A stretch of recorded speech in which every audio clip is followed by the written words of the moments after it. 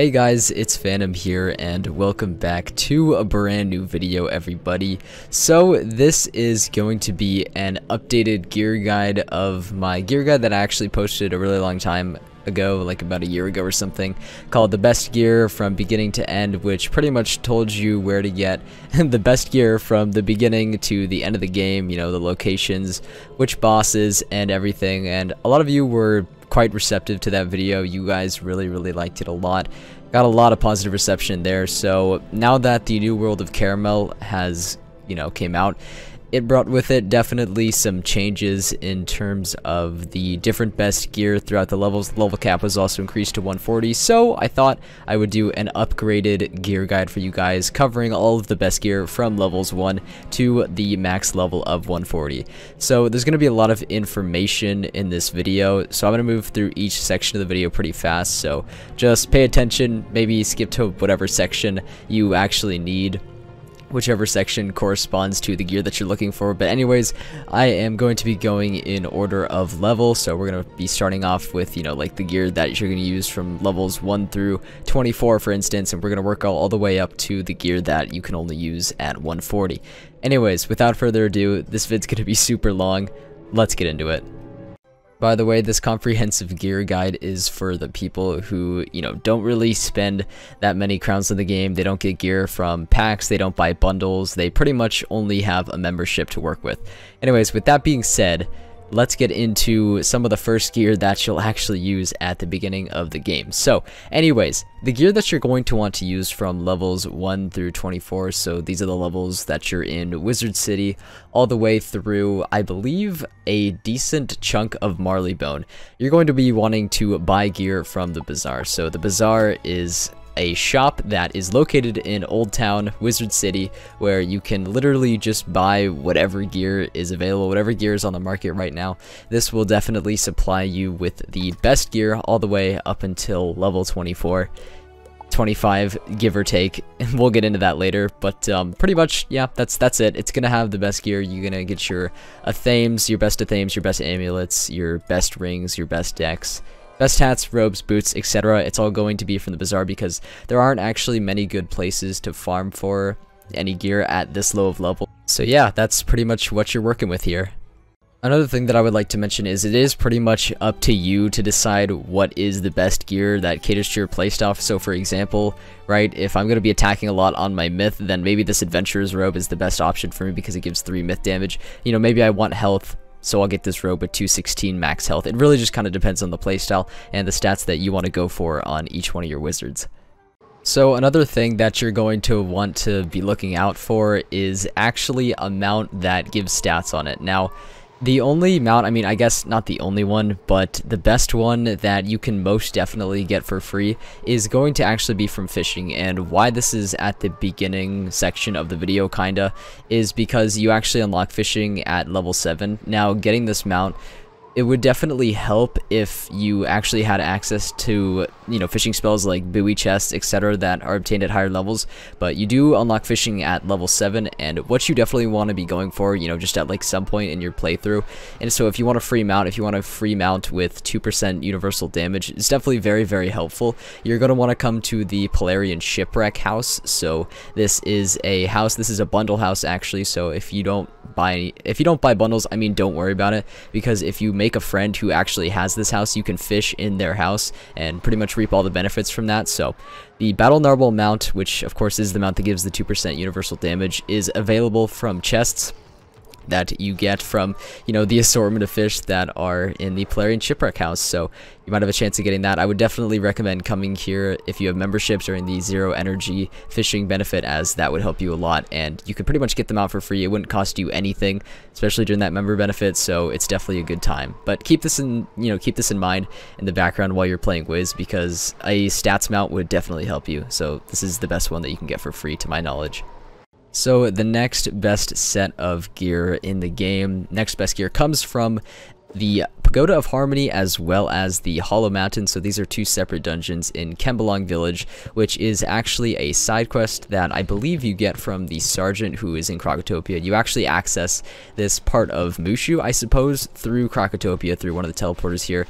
Take that boat over, and then you're here pretty much. And so once you get the quest, you're going to go to the Pagoda of Harmony first, and then after that I believe you go to Hollow Mountain. So what's interesting about this dungeon is both of these instances actually are going to drop gear that you want. I believe some of the gears from the Temple Guardian, some of the gears from Master Tonkatsu, which is like the final boss of the dungeons, but I know there's definitely some gear in the Pagoda of Harmony as well, and if I listed, if I wanted to list every single piece of gear and where it's dropped for each school, we would be here for an hour just because of how spread out it is in Kembaalung Village. But just know that if you do want some good gear for levels 25 to use through level 29, then here, Kembaalung Village is definitely a good place to go. Alright, so the next place that drops the next best gear that you'll be using for levels 30 through 39, and by the way, when I say that levels 30 through 39, obviously you could use the Zeus gear until like level 50 or whatever before switching, but I'm just saying those little increments of levels are the levels that you are going to be playing throughout the game until you actually unlock better gear. So that's what that means if you don't know, but you'll be using these pretty much through levels 30 through 39 until you unlock better gear. So what you're going to want to farm is this Mount Olympus dungeon dungeon. Is located in the Garden of Hesperides in, I believe you get here through Cyclops Lane through some sort of chariot quest. Anyways, at level 30, I believe Cyrus Drake Romulus, one of those people, will have the quest for you, and you're going to want to farm Zeus for obviously the Zeus hat, the Zeus robe, as well as the Zeus boots. And then another thing that is very, very important, something that is absolutely essential, a must-have, seriously, for questing, it, it's just an absolute lifesaver, is the Sky Iron Hasta wand. It gives 10% damage at level 30, which is just absolutely insane. So you get that from the Ares boss, which is right before the Zeus fight, actually. So it's actually a guaranteed drop. So if you do the dungeon once, you're guaranteed to get it. I know a lot of people who actually do this dungeon just once, so they can fight Ares, get the Sky Iron Hasta, and then move on in quest. So whatever you want, you can do that, but Zeus also drops some really good gear as well. But the Sky Iron Hasta, I just highly recommend it, as you're going to be using that wand until, like, over level 100. Seriously, it's absolutely insane, so... So this next set of gear you will be using through levels 40 through 55, and that is going to be the gear from Barkingham Palace. Now, it's so interesting, this dungeon, why I like the gear so much is because the gear is extremely offensive, which is just awesome for solo questing, but anyways, I don't know why a lot of people don't farm this, I don't know why a lot more people don't farm this, but anyways, the best gear 100% you are going to want the ring. You are going to want the ring from Barkingham Palace. It's located in the state wing and it is dropped by the boss Billy the Cutter. So keep in mind he is a wooden skeleton key boss so you're going to want to have someone with you or you're going to want to pack a wooden skeleton key yourself to actually access his room. But what's really awesome is he drops a ring that actually gives damage which I don't believe any rings at this point in the game at this level actually do. So that will definitely help you a lot. And then of course the final boss of Dr. Jackal, who is located, yeah, by the rooftop. Wait, where's the rooftop? Hold on, where's the rooftop? It's over here. Okay, yeah. Anyways, Dr. Jackal, the boss, the final boss of the whole Barkingham Palace, located on the rooftop in this instance right here. He drops the final set of gear. There's actually three tiers of it, but you're definitely going to want the, you know, tier 1 set of gear as it gives 100% definitively the most damage for your wizards. So you're definitely going to want that hat, robe, and boots. All very, very good. All very, very good drops from him. They look really cool too, so that's a bonus. But anyways, that's it for Barkingham Palace. Let's move on. So as for the next set of gear, you will be using it through levels 56 through 59, and that is actually the Winter Tusk crafted gear, so it's from this Karax Strong Thread Guy equipment recipes. This is where you're going to want to get it, but anyways, the reason why this gear is just so good is it has absolutely life-changing stats. I mean, What's awesome about this is if you don't want to farm Zigzag or Waterworks, which is the dungeons that actually, you know, drop better gear than this one by a little bit, this is actually a really good alternative. So if you just want to stick to crafting it, it has really good stats as you can see. The gear gives a ton of damage, a good amount of crit, power pips, a lot of health. It will definitely help carry your wizard throughout uh, throughout his journey because this is also kind of the point in the game where the game gets especially hard, so you're definitely going to want some pretty good gear. So Winter Tusk crafted gear is amazing, and you can definitely skip these next two dungeons if you're okay with rocking a little bit worse gear, but I wanted to leave this in the video as it is definitely a really good option. So what actually, what level of crafter do you actually need to be to get this gear? I have no idea. Wait, does it say like requirements or something? I don't think it does, but anyways, no, it doesn't. Okay, Grizzle. Alright, anyways, I don't actually know what level you're going to be, but make sure you're leveling up your crafting throughout the worlds because this is just really good gear. Anyways, let's move on. So this next set of gear is going to be the Waterworks set of gear dropped by the final boss of Waterworks. So this is gear that you're potentially going to be using from level 60 all the way to level 99. So this gear is definitely really important. It's at a crucial point in the game and you definitely want it. So all of the final, or all the final gear, all of the gear is dropped by the final boss. His name is Silister Glowstorm. He is at the very end of the dungeon. Let me see if I actually have some Waterworks gear on me to show you guys. So yeah, as you can see, the gear right here, definitely a little bit better than the Winter Tusk crafted gear. It is very, very, very good, and it will serve you very well for a really long time in the game. Not to mention the middle boss of the dungeon, the boss that is halfway through. His name is Leska Charmbreak. He is a squid, and he can actually drop the Waterworks hat as well. So if you just need the Waterworks hat, and you quite possibly have all of the other gear, then you can just pretty much farm him. You can go halfway through the dungeon and then restart again if you don't get it. So that's pretty cool, and yeah, definitely noteworthy. Thought I'd put that in there. Alright, so the next location on this list actually provides an alternative to Waterworks gear. The reason why some might say that the zigzag gear is better than the waterworks gear, at least for some schools, and in my opinion I definitely think it is, and the reason for that is because the gear is definitely a lot more offensive, especially most notably with the damage differences in between pieces of gear. I think it's really awesome. But anyways, you get this set of gear from Amit the Devourer. He is located in the House of Scales, which is the big dungeon right here. You, you really can't miss it. It's, uh, it's quite flamboyant, but anyways, you actually get to this area it's one of the four dungeons, so it is a side quest, and you get to this area by, I believe, like, using a Mander statue or something. I should know because I actually used it a few minutes ago, but you get here by using a Mander statue in Krokotopia in the Balance School, and that's how you actually get here, but you gotta do Lower Zigzag first, and then you get to the House of Scales.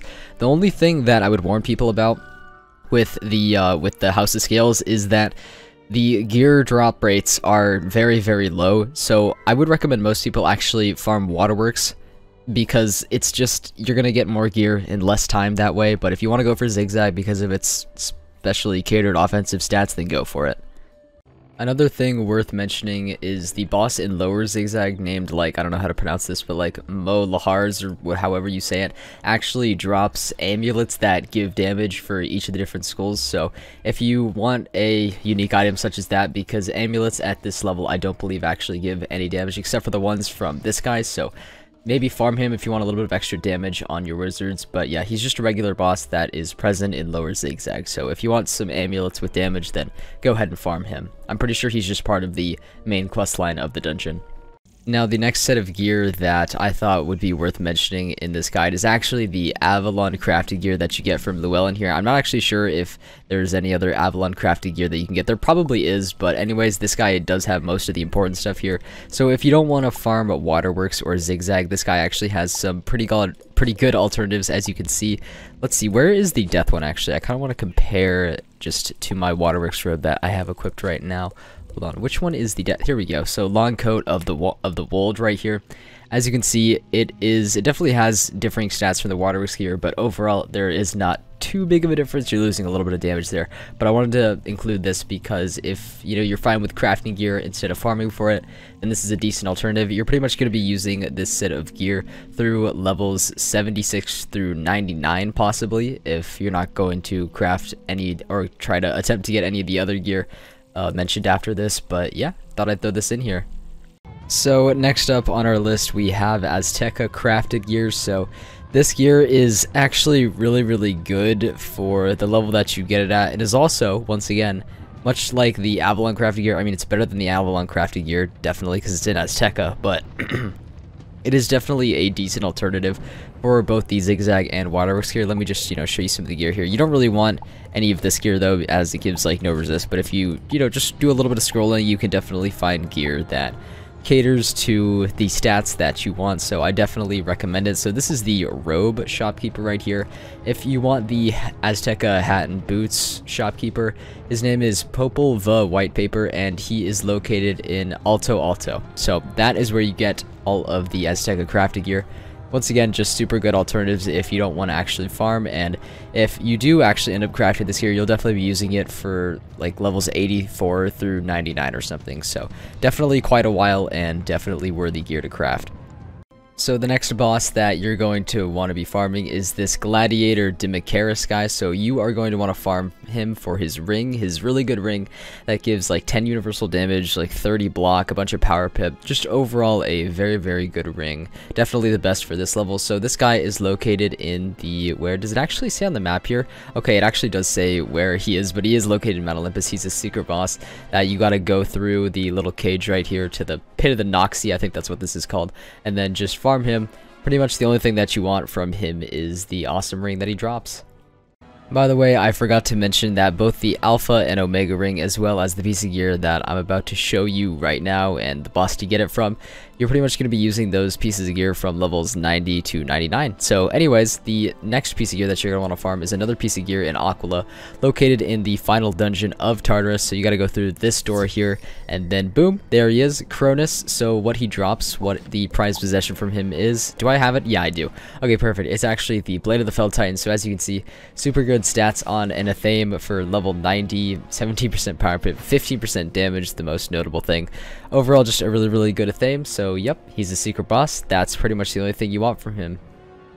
Alright, so the next pieces of gear that you're going to want to be farming come from Darkmoor. I'm pretty sure all of you knew that this was going to be next on the list. So obviously you're going to want to farm the final boss of the Graveyard Malistaire for his hat, robe, and boots that are just really, really good, like the best in the game for this level. And you'll pretty much be using this gear if you don't want to make any you know, side alternatives, you're pretty much going to be using it through levels 100 through 129, and also the first boss of the graveyard also very worthy to note, is Yevgeny, and he actually drops a really, really good Athame as well. I'm actually currently using it right now, so it has like a different name depending on which school you are, but this is the Lord of Death's Razor, so this is the Death version, and as you can see, really, really good stats. Definitely a lot better than Blade of the Felled Titan, just extra jewels, extra damage, just extra everything on top of what you already had, so that is the first boss in the graveyard who drops that. So next up is going to be a piece of gear and amulet that is found in the upper halls. Now, one thing to note about this amulet, so it's the Shane amulet. It gives a decent amount of crit. So Shane Von Shane is the last boss of the upper halls right here, and that is who drops that that is who drops the Shane amulet, obviously. So, anyways, though. The a thing about this piece of gear though, I'm putting it on this list just so you guys who are running through Darkmoor can keep an eye out for it. So this amulet, the reason why amulets like these and like the Divine Amulet and the Morganth Amulet aren't as important as they once were is because crit just isn't as important as, as important as it once was. You just need less crit to actually critical on mobs. However, it is still a really good piece of gear. I actually think I have the Shane Amulet, I believe. Is that it? No, it's definitely not. Yeah, Death Seeker's Talisman. This is it right here. So it does give some pretty decent stats. It is a pretty good amulet, resist, crit, pierce, all that good stuff. But, I mean, the thing is, I don't know if this is necessarily worthwhile to put time into farming into, though, when you could just go ahead on your questing, because it is replaced with an absolute necessary alternative at level 130, but hey, if you want to go for it, the option is definitely there, and it's still a good piece of gear. Alright, so for this next boss, you're definitely going to want to be farming for her Athame, or perhaps her Amulet, and you're pretty much going to want to be using these pieces of gear from like levels 100 through levels 129 if you're not going to have any alternatives in between. But yeah, Anyways, the boss is Morganth, as you can probably tell by the name Morganth's Chamber, so she drops a decent amulet that is very, very similar to the Shane's amulet. Like I said, definitely not essential to farm as, you know, amulets these days and the crit they give. Crit is just weird, and amulets don't really give that much of it, so really farm at your own risk or at your own self-worth or whatever. But the Athame that Morganth actually gives is very, very good. I still use the Athame on my fire. I don't believe I actually got the Morganth Athame. Yeah, no, I definitely didn't get the Morganth Athame on this wizard, but it is definitely a good alternative to the Yevgeny Athame, but it's really going to come down to personal preference at this point, so yeah, that's pretty much what you're going to want to farm for Morganth. Alright, yes, we're finally getting to that segment of the video where you guys can actually start upgrading your wand from the Sky Iron Hasta. Of course, unless you pay for pack wands or whatever, but anyways, if you are a, you know, semi-free-to-play person, the next best alternative after the Sky Iron Hasta, once your appropriate level, which is 115, and you're pretty much going to want to be using these 115 ones up until I would say about 124, and you'll get that upgrade for these wands, and I'll explain that in a second, but basically for the level 115 ones, so for example, Ignis's Torch Staff right here, very, very good ones to use, obviously have a lot more damage than the Sky Iron Hasta, and then some crit and pierce on top of that definitely good wands. These are actually really, really easy to craft, so I definitely recommend going for these after you know you're done with the Sky Iron Hasta and you're level 115 so once again make sure to level up that crafting because it's going to be really really useful for you. And then since I'm already here I might as well explain the upgrade to these wands that you're going to want after you know you reach level 125 so it's the focused wands. So pretty much you're going to actually need the the original legendary weapon. So we have Baba Yaga's focused mace. You would need to craft the legendary weapon first. Once you get it level 115, you're going to want to craft that first. Then you get to upgrade it to a focused mace. A focused mace. So it gives extra damage. It gives like a bunch of energy. It gives a lot of different utilities on top of it, but the main thing that you're going to be wanting is definitely that extra crit and extra damage on the ones. So yep, the upgrade comes at level 125 for that, and you're pretty much going to be using the focused weapons all the way until level 139, I'm pretty sure. Yeah, when you get an upgrade for that then, which I'll explain later. But yeah, Alright, so the next piece of gear that you're going to want to be going for is the rings, the Mimic rings dropped by the Skeleton Key Boss Mimic. I believe I have one of them on me right now. Yeah, here we go. Ghost Dog's Dire Loop, so it's a different name corresponding to the school that you are, so similar to the Yevgeny Athame, but what's really cool about these rings is they've got a ton of crit, ton of damage on them, so super good for the level that you get them at. Once again, this is another one where it's like, it's by no means essential to farm, well I guess you could say that for any thing, any piece of gear on this list, but it's definitely good to have if you've already gotten it on like a different wizard because these rings, I will warn you, are decently rare, but if you do get these rings, it'll pretty much serve you up until level 120 to about level 137, so you'll definitely be using them for quite a while. They'll definitely help out quite a bit, but just keep in mind, they are a little bit of rare drops from the Mimic. But yep, it's from the Mimic boss. He's in Agrabah Mirage, so yeah, that's where you get it. So you might be wondering why I am actually back at the bazaar and it is to tell you a piece of information that I actually hadn't known for quite a while but so to get your next you know, a couple pieces of gear that are replacements for the Darkmoor hat and boots. It's called Cabalist gear. You're pretty much going to be using it for in between like levels 125 and 129. So yeah, you'll get the gear at 125 as an upgrade to Darkmoor. And the reason why I'm at the bazaar is you can actually buy this gear from the bazaar. I know it's absolutely insane because of just how good this gear is, but if I go to the C section right here, like for example, I can buy the Cabal Hood of Disruption. You know, it gives great crit, it gives great damage, it gives great power pips, shadow rating, it gives all that good stuff. So you're going to want to replace your hat with one of these Cabal hoods that are, you know, corresponding to your school. You're also going to want to replace your boots as well. The Darkmoor robe is still relevant at this level, so you, there's no, like, don't buy a Cabal robe. They're just really, really bad. But if I go to the C section as well on this, on this, uh, I was about to call it a list. I guess it is a list of sorts. But yep, here you go. Cabalist gear. it's really awesome because you actually used to farm this gear in the secret tunnel which was a dungeon in Empyrea but now you can just buy it directly from the bazaar because people just have so much of it. So yeah there you go. This is really really good gear that you can get super duper easily. So make sure to replace your hat and boots at level 125 as you can do it super easily so the next piece of gear that you're going to want to obtain is going to be from Corporal Tennyson. He is a skeleton key boss located in the Xanadu sewer area. So here he is right here. Here's the sigil. Here's some guys actually going into farmer right now.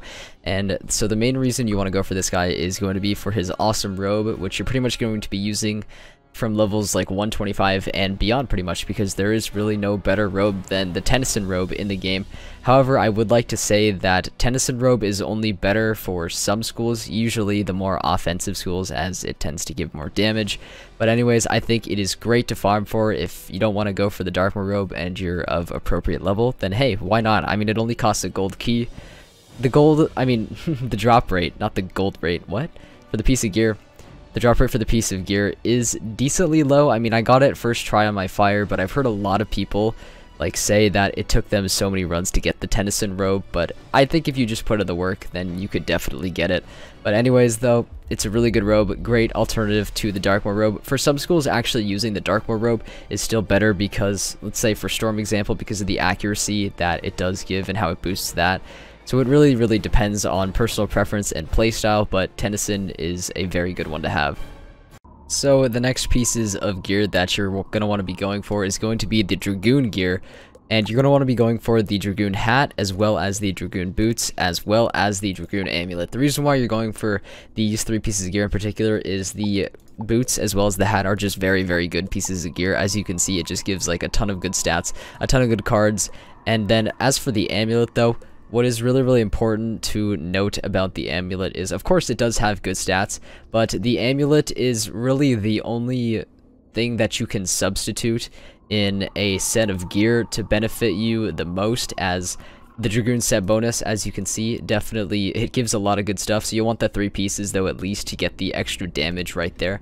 And then, so if you replace the amulet, you're not really going to be sacrificing much besides a little bit of crit. Whereas if you sacrifice, let's say, an Athame or maybe a ring, you would definitely be losing out on a lot of damage. So you're going to be going for those three pieces in particular. And you're pretty much going to be using the Dragoon gear for really just 130 and beyond because there isn't really any better gear than the Dragoon gear that is out right now. So the way to actually obtain this Dragoon gear is by collecting reagents that you get throughout the Catacombs dungeon, which is the dungeon that I'm in right now. You also need the prerequisite Vanguard boots as well, which you can craft using more reagents, or if you're lucky, you might get them from a boss in here. But definitively, the best place to farm reagents, at least in my opinion, is the King Detritus boss. The, the whole King Detritus dungeon if you do it during double reagents, we'll get you around like 17 alchemical extract or something per run, which is absolutely insane because the runs don't take long. There's always a lot of wizards farming it, and overall, I think it definitely makes it very, very worthwhile, even though the gear is time consuming to get. The stats, I believe, make it very, very worth it. So the next piece of gear that you're going to want to be looking out for is dropped by the Arachna Magna Magus, I believe is how you say his name and he is located in the elemental forest right here in the elemental grove which is like the final little alcove of the elemental forest. So he is the final boss of this little dungeon here. And we are in the husk Empyrea and the piece of gear that you're going to want from him is going to be the paradox deck now, this deck is super duper good. Right here, as you can see, lots of crit, lots of block, as well as a triangle socket that you can socket pips or accuracy on. It makes this one of the best decks in the game that you can pretty much use for the whole rest of the game. Gives some health as well. Just overall a really, really good deck. So once again, drop from the Arachna guy, and um, yeah. Alright, so the next couple pieces of gear that you're going to want to be looking out for are going to be the director and executive rings that drop from this Uwe guy who is in Uwe's workshop, which is located in Sweetsburg. I believe some of these rings also drop for Heidi as well. Heidi is a boss that is located in Gutenstadt, which is she's farmed quite a bit as well and is quite popular among a lot of players, but Uwe, I'm pretty sure, actually drops every single one for pretty much every single school, so I definitely recommend him. And what's so good about the director and executive rings, I don't actually think I have any on my fire. No, I think I only have the consulate ones, but I have I have a director one on my death. But the reason why is these are the best rings in Karamelle that give you the highest amount of damage as well as crit. And between the executive and directors, I personally prefer the executive rings just because they definitely give a bit more damage than the directors, but one thing that is also people one thing that people take into consideration is also the jewels that uh sorry the song the Karamelle song is just distracting me I can't help it. But anyways, one thing that uh, people hold in high regard is the different jewels that are on the different jewel sockets that are on each of the rings. So it really comes down to personal preference, but both executive and director rings are really, really good, but I suggest farming for the executives. But anyways, yeah, you get them from Uwe, and those are pretty much the rings that you get, I believe, at level 138, and you pretty much use them from then on. And last but certainly not least is going to be the Karamelle crafted amulets, crafted decks, as well as crafted wands that you get from my boy Johan here. So I'll explain why each of these is important, but you gotta have, once again, your crafting, you know, leveled up quite a bit for these, but pretty much the wands are upgrades from the focused wands that you will get in the Arcanum. These give a lot more crit, a lot more damage, I believe more shad rating as well. They also look amazing, by the way, but that I guess is besides the point. You can also craft this other gear that is very similar to Dragoon gear. The reason why I don't put this in the video, though, and I don't recommend going for this gear, is because the Dragoon gear is so much better because it actually gives that set bonus, so these don't actually give set bonuses, which overall, in my opinion, just make them worse pieces of gear, but hey, it, it is an alternative if you want it, but anyways, so you're going to mainly want to go for the wands because they're better than the focused ones.